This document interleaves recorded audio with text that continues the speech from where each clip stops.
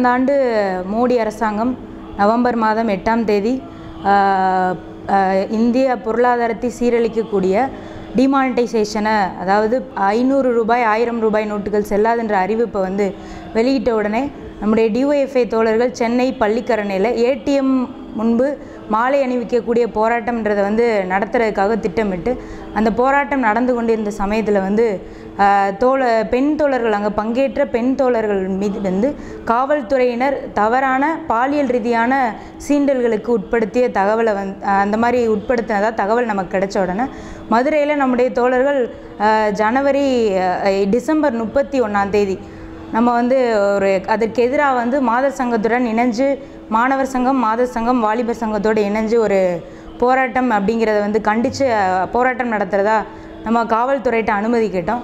காவல்துறையினர் வந்து அன்றைக்கு ஜாதி சங்கங்களுக்கு பேரணிக்கு அனுமதி கொடுத்ததுனால நம்முடைய போராட்டத்துக்கு வந்து அனுமதி மறுத்து நீங்கள் போராட்டம் நடத்தக்கூடாதுன்னு சொன்னாங்க.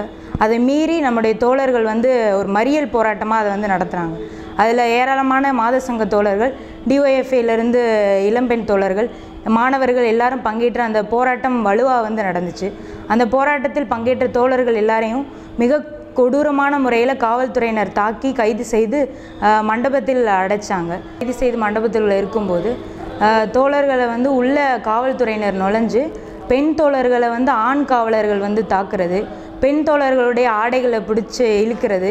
அது அது மட்டும் இல்லாமல் அவங்க நகங்கள் மூலமாக வந்து தோழர்களை வந்து கீறுறது இந்த மாதிரியான கையில் வந்து பின்னு வச்சுட்டு அந்த தோழர்கள் மீது வந்து பின்னை வச்சு குத்துறது இது மாதிரியான வேலைகள் எல்லாம் செஞ்சாங்க. அது மட்டும் இல்லாமல் தோழர்கள் எல்லாத்தையும் மண்டபத்தில் சுற்றி எல்லா அனை எல்லா காவல்துறையினரும் சேர்ந்து ரொம்ப கொடூரமான முறையில் தாக்குதல் நடத்தினது.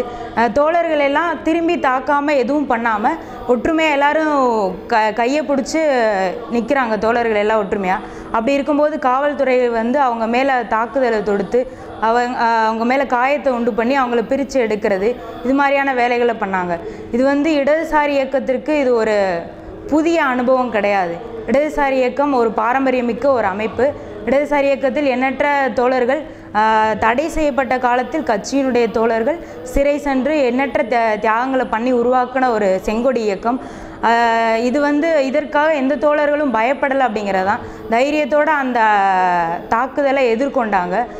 இது வந்து அங்கே கலந்துக்கிட்ட என்னை போன்ற இளம் தோழர்களுக்கு ஒரு மேலும் இந்த சமூக மாற்றத்திற்கான போராட்டங்களை வந்து முன்னெடுக்கணும் அப்படிங்கிற ஒரு உத்வேகத்தை கொடுத்துச்சு அப்படின்றதான் செங்கொடி இயக்கம் எப்போதும் ஒரு அனுபவத்தை இளம் தோழர்களுக்கு கொடுத்து கொண்டே இருக்கும். சமூக மாற்றம் நிகழ நிகழ்வது உறுதியானது. எதிர்காலம் சோசலிசத்திற்கு.